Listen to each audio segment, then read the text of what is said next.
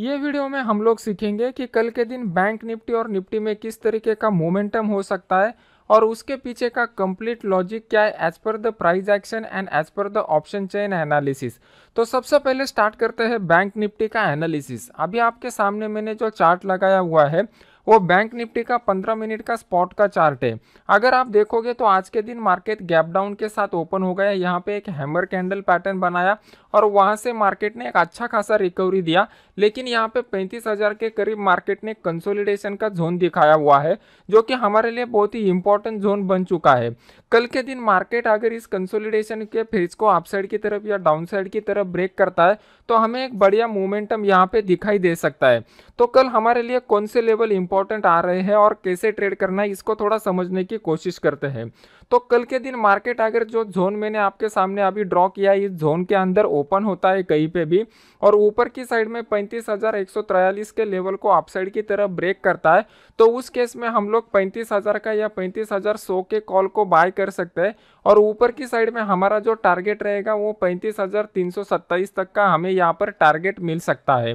यहाँ पर नीचे की साइड में अगर मार्केट इस लेवल को डाउन साइड की तरफ़ ब्रेक करता है, चौंतीस के लेवल को तो नीचे की साइड में हमारा जो स्टॉप लॉस रहेगा, वो स्टॉप लॉस मात्र 60 से 70 पॉइंट का रहेगा और उस केस में हम लोग पैंतीस हज़ार का पुट जो है वो पैंतीस हज़ार के पुट को बाय कर सकते हो और नीचे में हमारा पहला टारगेट ये वाला स्विंग लो रहेगा। अभी ये पॉइंट को थोड़ा हमें समझना पड़ेगा कि ऐसा क्यों होने की प्रोबेबिलिटी है, क्योंकि यहाँ पे मार्केट ने आज का जो क्लोजिंग दिखाया हुआ है, वो पैंतीस हज़ार के ऊपर है। मतलब जो बायर्स है, वो एक एक्सपेक्टेशन के साथ मार्केट में रुके हुए हैं कि कल के दिन मार्केट ऊपर जाने की प्रोबेबिलिटी है। पैंतीस हज़ार के लेवल को मार्केट ने होल्ड किया हुआ है। अगर फ्लैट ओपन होके यहाँ से मार्केट ऊपर जाने लगता है तो और भी बायर यहाँ पर इंटरेस्टेड हो जाएँगे और उस मोमेंटम में मार्केट ऊपर जा सकता है। अगर कल के दिन मार्केट फ्लैट ओपन होकर डाउन साइड में इस लेवल को ब्रेक करता है तो जो लोगों ने पैंतीस हज़ार के पुट के ऊपर राइटिंग किया रहेगा मतलब तेज़ी के पोजीशन बने रहेंगे, वो सब राइटर यहाँ पर ट्रैप हो जाएँगे और उनके ट्रैपिंग के वजह से एक लॉन्ग अनवाइंडिंग का फॉल हम लोगों को दिखाई दे सकता है और उसकी वजह से मार्केट में डाउनफॉल आ सकता है। अगर मार्केट कल बहुत ही गैप अप होता है पैंतीस के लेवल के करीब तो उस केस में मार्केट रिवर्स होने की प्रोबेबिलिटी है। तो वहाँ पर हमें टारगेट छोटा मिलेगा क्योंकि यहाँ पे ये सपोर्ट बिकम रेजिस्टेंस का कंसेप्ट एप्ट होगा। तो वहाँ पे हम कम क्वांटिटी के साथ काम कर सकते हैं। यहाँ पे मैं अपने फ्री वाले चैनल में इसका अपडेट दे दूँगा। फ्री वाले चैनल का लिंक वीडियो के नीचे डिस्क्रिप्शन बॉक्स में मैंने डाला हुआ है, जहाँ पे एक लाख छिहत्तर हज़ार से ज़्यादा लोग जुड़े हुए हैं, जहाँ पे मैं इंट्राडे के निफ्टी बैंक निफ्टी ऑप्शन के सिग्नल देता हूँ। इस चैनल को आप वहाँ पे ज्वाइन कर सकते हो। अभी देख लेते हैं कि ओपन इंटरेस्ट का डेटा हमें क्या इंडिकेट कर रहा है। यहाँ पे मैं आपके सामने जो ऑप्शन चेन लगाया हूँ, वो बैंक निफ्टी का ऑप्शन चेन है तीस दिसंबर के वीकली एक्सपायरी वाला। यहाँ पर अगर आप देखोगे तो नीचे की साइड में तेज़ी के अच्छे खासे पोजीशन बने हुए हैं और ऊपर की साइड में भी मंदी के अच्छे खासे पोजिशन बने हुए हैं। तो ये इंडिकेट करता है कि मार्केट एक रेंज बाउंड या वोलाटाइल सेशन आने वाले दिनों में दिखाई दे सकता है। तो हम लोगों को जो इम्पोर्टेंट लेवल है, वो लेवल ब्रेकआउट या ब्रेकडाउन करने के बाद ही ट्रेड करना पड़ेगा।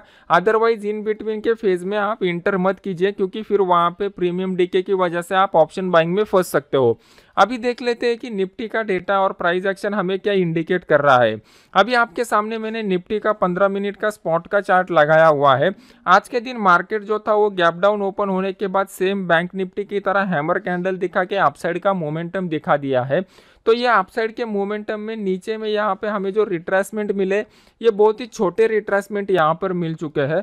तो ये इंडिकेट करता है कि बायर का जो स्ट्रांगनेस है वो थोड़ा ज़्यादा है। तो कल हमारे लिए इंपॉर्टेंट लेवल कौन से रहेंगे? अभी आपके सामने मैंने जो 15 मिनट चार्ट का एनालिसिस कर रहा हूँ, वो 15 मिनट चार्ट में ये हमें इंडिकेट कर रहा है कि आज के दिन मार्केट जो था वो दो बजे के बाद यहाँ पे थोड़ा कंसोलिडेट हो चुका था। तो कल के दिन मार्केट ये सत्रह के लेवल को अपसाइड की तरफ़ ब्रेक करता है फ्लैट ओपन होने के बाद। तो उस केस में हम लोग सत्रह का जो कॉल है, उस कॉल को बाय कर सकते हैं। ऊपर की साइड में हमारा टारगेट जो रहेगा, वो टारगेट सत्रह का रहेगा और स्टॉप लॉस मात्र 15 से 20 पॉइंट का ही सफिशियंट है यहाँ पे कल के दिन मार्केट अगर डायरेक्टली गैप अप ओपन हो जाता है तो इस लेवल से मार्केट में दोबारा एक तेज गिरावट होने की प्रोबेबिलिटी है। इसके पीछे का रीज़न है कि ये एक इम्पोर्टेंट स्विंग हाई बन चुका है। और अभी फ़िलहाल के मार्केट में अगर आप देखोगे तो कल मेरे ख्याल से यूके का मार्केट बंद है ऑस्ट्रेलिया का मार्केट बंद है। तो मोमेंटम जो रहेगा, वो मोमेंटम ईयर एंड के हिसाब से थोड़ा कम मोमेंटम रहेगा। तो हम लोगों को ज़्यादा बड़े मोमेंटम को एक्सपेक्ट नहीं करना है। छोटे मोमेंटम के साथ, कम क्वांटिटी के साथ और छोटे टारगेट के साथ ही हमें काम करना पड़ेगा। यहाँ पे नीचे की साइड में अगर आप देखोगे तो मार्केट में मल्टीपल सपोर्ट लेवल बन चुके हैं लेकिन मार्केट को अगर नीचे आना है तो उस हिसाब से ओपन इंटरेस्ट का डेटा बनेगा तो ही सेल के पोजीशन ले लेंगे। अदरवाइज़ इमीजिएटली हम लोग सेल के पोजीशन नीचे की साइड में नहीं लेंगे। अभी हम लोग देख लेते हैं कि ओपन इंटरेस्ट का डेटा हमें क्या इंडिकेट कर रहा है। आपके सामने मैंने निफ्टी का ऑप्शन चेन लगाया हुआ है 30 दिसंबर के मंथली एक्सपायरी वाला। यहाँ पर आप देखोगे तो 17,000 के पुट में हेवी तगड़ी पोजीशन बन चुकी है। मतलब यहाँ पे तेज़ी करने वालों में बहुत बड़े क्वांटिटी के साथ ऐड हुए हैं। अगर आप यहाँ पे देखोगे तो ऑलमोस्ट छियानवे लाख शेयर्स का ओपन इंटरेस्ट बना हुआ है, जिसमें से चालीस लाख से भी ज़्यादा आज ही के दिन बने हुए हैं। मतलब ये बहुत ही क्रूशियल सपोर्ट बन चुका है और मार्केट अभी ऑलमोस्ट इसके ऊपर ही क्लोज दिया हुआ है। तो हम लोगों को कल के दिन अगर सत्रह हज़ार के लेवल के करीब मार्केट मिलता है तो यहाँ से बाउंस बैक देने की वेरी हाई प्रोबेबिलिटी है। और ऊपर की साइड में अगर आप देखोगे तो ये सत्रह हज़ार दो सौ का जो लेवल है यहाँ से लोग एग्जिट हो रहे हैं। ये एग्जिट जो लोग यहाँ से हो रहे हैं, वो इंडिकेट कर रहा है कि ऊपर की साइड में जो रजिस्टेंस है, वो रजिस्टेंस वीक होते जा रहा है।